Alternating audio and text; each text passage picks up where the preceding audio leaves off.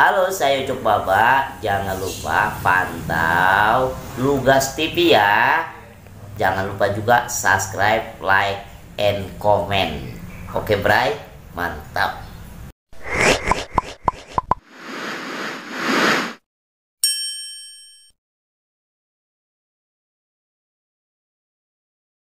Oke, selamat siang sahabat Lugas TV di mana pun Anda berada. Assalamualaikum warahmatullahi wabarakatuh.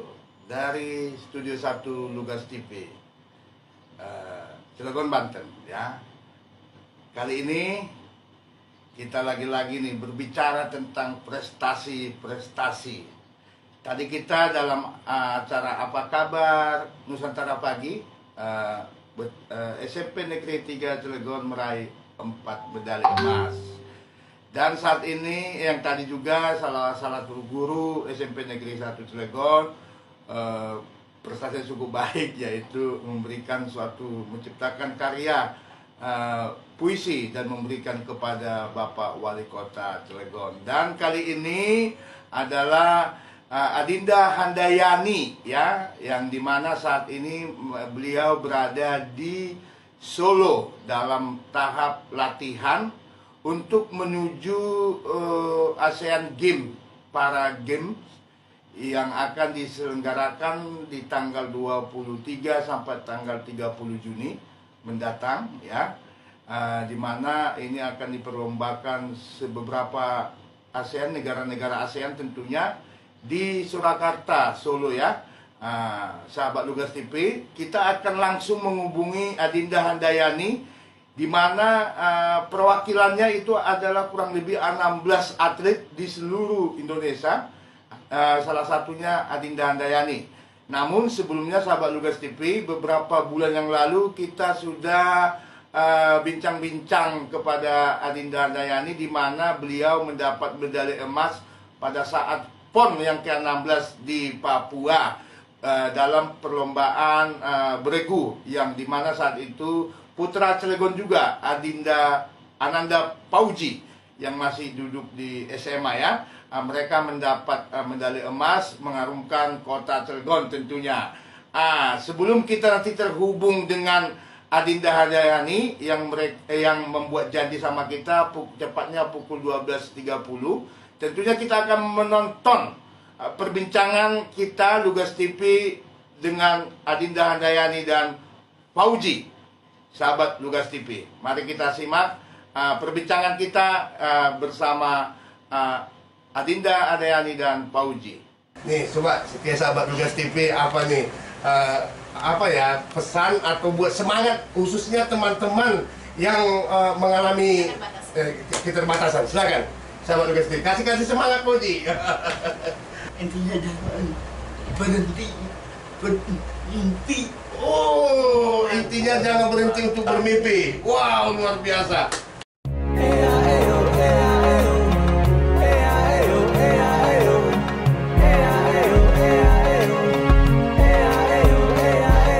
Kita semua mimpi dan angan-angan Kita melampaui segala keterbatasan. Mari bersama bangkit satukan tekad.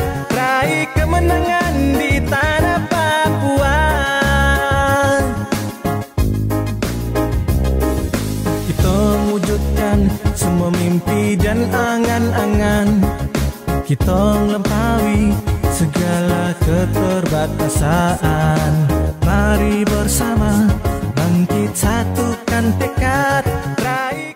Lukas TV, nah, selamat siang. Uh, pada saat ini kita berada di kediaman Adinda Handayani. Uh, beliau meraih medali emas uh, bidang olahraga boci di PON Papua yang ke-20. Wow, luar biasa. Nih, coba setia sahabat Lugas TV apa nih?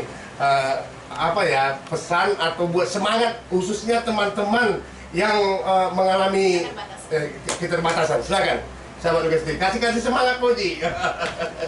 nah, Fauji dulu, Fauji. Ayo. Ah, apa nih?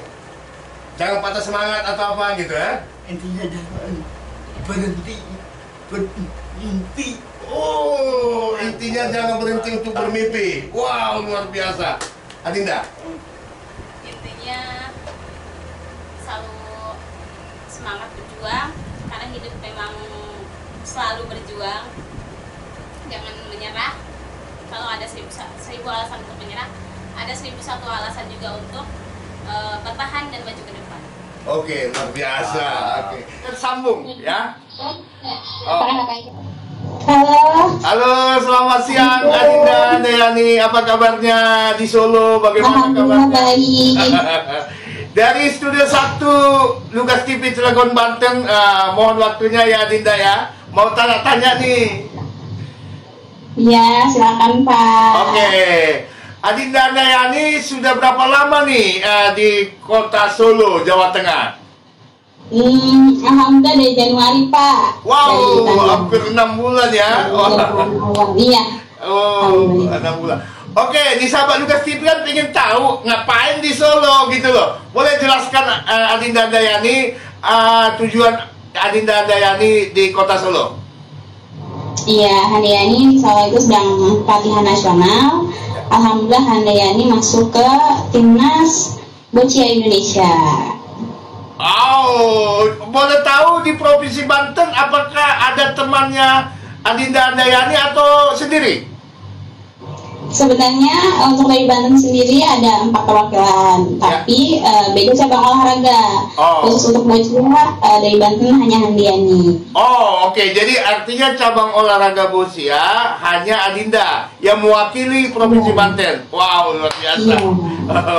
Oke, kalau tidak salah tanggal 23 sampai tanggal 30 Juni eh, untuk eh, ASEAN para gamenya ya, Adinda ya. Iya, Juli, uh, 29, 30 Juli mulainya. Oke, wah bagaimana nih mental dan persiapan Adinda untuk menghadapi ASEAN para game ini? Insya Allah siap Pak. Uh, Hadiani mohon doanya.